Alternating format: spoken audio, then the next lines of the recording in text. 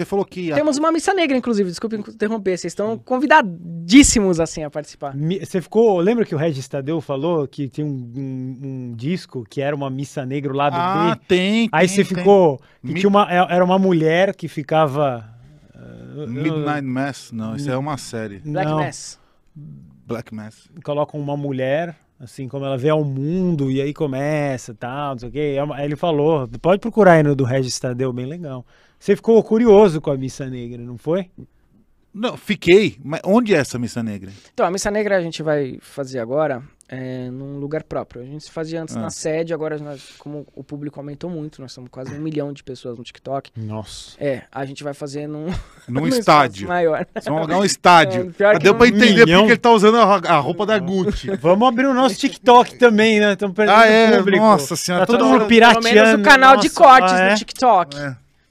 Pelo menos, porque lá as lives, gente, as lives são diretas. É contato direto com o público. Não tem Então, aquele não tem- restrição Não, de público não, 10%. Não, não, não, Ela fica no, no feed de todo mundo. Se a pessoa não gostar, ela passa pra cima. Mas se ela se interessar, ela clica na hora. Vamos fazer É que- TikTok junto aqui É também. que a gente é muito underground, Guru. Não é mais. Nós somos Foi fenômenos. sim, olha, esse tempo. olha a Nós somos beleza um de fenômeno pop. Foi né? sim. Underground tempo. passou faz muito tempo. Tá, então, mas você Então, como- a Missa Negra, né? Missa É. Negra. A Missa Negra, ela não é aquela coisa de filme de terror que tem Ah, que vida. pena. Não, cara. não é. Mas ela, é, Que pena. sinceramente, é mais Ah. bonita. Porque Ah, tá bom. Tem, ó, é que eu vou falar agora, eu acho que ele vai se interessar. Ah, não, Ah, apesar tem que ele nudez, é casado, isso que você Tem vai falar? nudez, é. Ah, então eu tô interessado. Mas aí a sua mulher vai, vai trazer problemas com Não, ela. minha mulher vai junto. Ah, então tá bom. Então, assim, tem a, a, a Missa Negra, ela começa com a minha palestra, falando o que, que é luciferianismo, depois eu até vou comentar um pouco sobre o que é Lúcifer de fato, e depois parte pra, pra parte do, da mulher altar, que ela entra. Mulher altar é Babylon, que na filosofia telêmica é a mulher escarlate, a personificação da deusa, né? A mãe de todas as abominações, enfim. E para os tantristas é Shakti. Então, aquele princípio feminino do Tantra, que faz a triangulação oposta do hexagrama, né? O triângulo para baixo é o sagrado feminino, triângulo para cima é o sagrado masculino, e a intersecção dos dois é o iluminado. Então, ah, na Missa Negra você tem a presença de Babylon, da mulher escalate, né? Tem uma série de liturgias, de fundamentos que tem ali. Depois consagra-se com o cálice de Babylon, e depois segue-se para o nascimento do bebê do abismo, que é o homem renascido, na lei de Telema, para o novo Aeon. Enfim, eu não vou dar mais detalhes, mas é uma cerimônia muito bonita, não tem nada a ver com energia negativa, apesar de nós usarmos preto, caveira, porque faz parte da nossa identidade visual para afastar os incautos. Nós luciferianos usamos esses arquétipos que foram colocados sobre nós na Idade Média pela igreja, justamente para manter ali o povo chato, conservador, mais afastado. Então, durante a Missa Negra nós temos essa roupagem, essa estética, mas é um evento bem bacana. E depois tem a celebração, que é um sabá luciferiano, que é um culto à carne também, então se aproxima muito daqueles cultos ah, dionisíacos, né, ah, e os cultos báquicos, onde você tinha a festa da carne, e que hoje nós temos ainda, o carnaval, por exemplo, Hum. onde se cultua também a carne. Então a primeira parte da Missa Negra cultua-se os valores espirituais do homem, sua união com o todo, e na segunda parte tem o culto à carne, o culto à alegria, à felicidade e o prazer. Então, é A um- carne que você tá falando, que tipo de carne? A carne do churrasco? É, enfim, eu pensei que eu tava bem compreendido. Não, não, você seja mais claro. A, a- a- questão quê? sexual mesmo, né? Ah. A questão de prazer, né? Que- Fornicação, exato. Como é que funciona isso?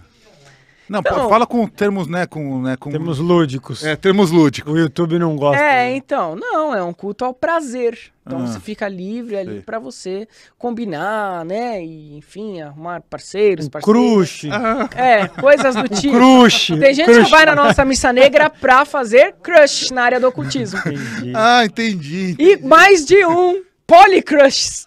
Enfim. Muito bom. Ah, então... é- Aí você ficou extremamente interessado, né, Ale? Não, não, só, Não, só tô nada, entender. né? Mas é, é, é- é mais ou menos, então, como se fosse um... um- assim, é um... um- Um Rodrigo Faro, só que ao vivo. Nossa, que termo, velho. É, né? Basta. Quer namorar, assim, né? É. Só que uma coisa mais, É, mais mais luciferiano. moderna e tal. É. Sem hipocrisias, vamos dizer assim. Entendi. Então o, o pessoal vai lá então pra, pra se deliciar com os prazeres da carne. É, na segunda parte, né? A Então primeira eu parte. com esse nome. É, o É. do Raul Gil, Não é? Prazeres da Carne. Olha, olha que sabedoria desse, Prazeres da carne. desse senhor. Olha que é do Raul Gil! É. Filha da velho safado! que velho pilantra, olha isso! É sabedoria. Entendi. O, o- o-. Isso aí tá me lembrando um pouco aqui. é... Mas assim, sem brincadeira, a libido Ah, é o que te mantém vivo. O dia que você perde a libido, você entra em Acabou processo a- catabólico, energético e total. ah, sim, Pra, sim. pra Freud, por exemplo, não é à toa que Freud, ateu do jeito que era, não, não existe nada, mas a libido existe. Mas se todos ali são adultos e sabem o que estão fazendo, E com muito tá respeito tudo também. maravilhoso, Com né? muito respeito. Com muito respeito. Gostei dessa Porque a primeira lei, conclusão. não é? a primeira lei, a primeira lei, de, a primeira lei satânica é não interferirás o, o espaço de outro, né, a menos que seja chamado. Então, a primeira coisa da, né, da, da missa negra e depois, né, no after é respeite todos, principalmente as mulheres. Se te der abertura, aí é com você, né? Pode, vai, pode fazer uma fila e todo mundo pro lugar, mas tem que ter respeito, tem que ter parcimônia, né?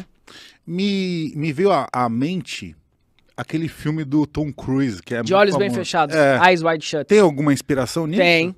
Tanto que a música de abertura do pacto, quando eu faço o pacto no meu templo, a cerimônia, a música é a música do Eyes Wide Shut.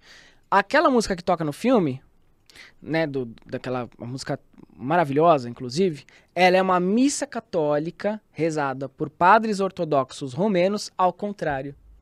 Então você tem a inversão da energia. Se lá eles estão é, né, só cultuando a parte espiritual e elevada e sublime do homem, quando você reverte, você traz a energia oposta de culto o quê?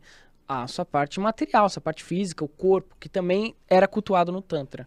No Tantra, você tem o culto à parte espiritual, com as meditações, né, e os mantras, mas também você tinha o culto à parte sexual, que era o Maituna, o sexo sagrado tântrico. Inclusive, muitas ruínas da Índia, você tem... é, ah, sim, sim. É bem legal, inclusive. São, É bem são bem legal. criativas.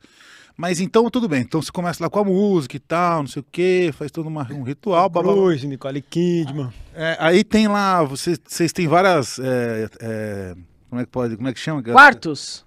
Quartos? Você tem quartos? Não, isso não. É, Aí já é outro babado, né? Aí a pessoa procura a parte, o rolê e tal. Ah. Não, eu, eu- não, eu fiquei imaginando uns colchonetes assim no chão. Não, não, é não. outra Vários colchonetes, com umas não, almofadas e tal. Não, não. Mas você fica nu nesse, nesse evento?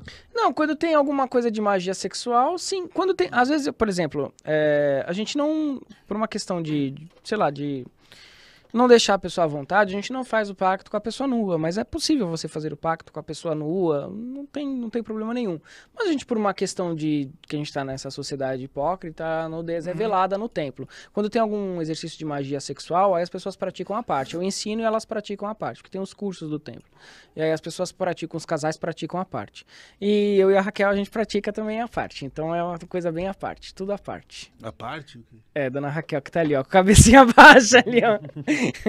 é, a gente pratica magia sexual, que é a, a Red Magic, né? A magia vermelha, magia do dragão.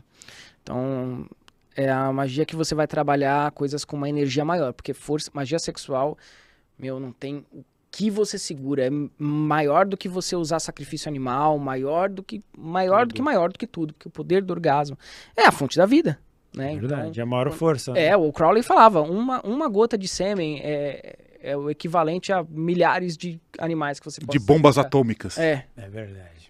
É, mas você sabe que a- essa, essa, o poder da energia sexual estava me, estava me agredindo ultimamente. Porque eu estava tendo. tava contra você. Eu estava tendo. Como é que chama? É um orga, é, cefaleia orgasmática. Tava tendo dor de cabeça depois do... do- do- Exatamente. Caramba! É, Pode ser porque a energia tava subindo muito pra cabeça. Quando é, você ser. tem esse momento de orgasmo, a energia sobe. Quando a Aline sobe, pode ser que tava acontecendo... Chumbada fatal, né? Chumbada fatal. Aí eu caía É. no chão e minha mulher entrava em pânico. Desmaiava? Chegava a A desmaiar? mão. Não, eu só, só caía de dor e me contorcia. Caramba, mas o, o orgasmo é pra ser prazeroso. É, eu, eu- eu imagino que sim. Tem técnicas tântricas que o cara fica tendo orgasmo 20 minutos. Parece um Isso é porco. interessante. Quando ele fica segurando, né? Tem um nome isso também no, no, no Tantra. Tem uma técnica que você tem um orgasmo sem ejaculação também. Ah, sim, sim, a gente aprendeu. Inclusive, eu vou, eu vou, me, eu vou me graduar em. Na- na- Você vai faltar no podcast, é Não, isso. mas é, é um sábado por mês só, Ah, bem. Você vai fazer o curso de Tantra? Curso de Tantra. Com o quê? Com o Otávio Leal? Otávio. Lá no. Ah, eu o- fiz com ele. Eu sou iniciado ele Milarepa com ele. Como é? Um, um Mani Amor, não é? Uma universidade. Isso, uma universidade. Uma Inclusive, universidade. em breve, nossos patrocinadores. Eles É já verdade. estamos ali. Um abraço só- pro Otávio. Acho que o Otávio teve aqui essa semana. Sim, Teve? sim. Até me deu um presente ali, ó. O Terminator que tá ali, ó lá. É dele. Ele que deu. Ah, aquele ter- bacana. Qual que é o ter... Cadê o Tá terminal? vendo ali, ó? Assim, Ah, foi o Otávio que deu. É. Uhum.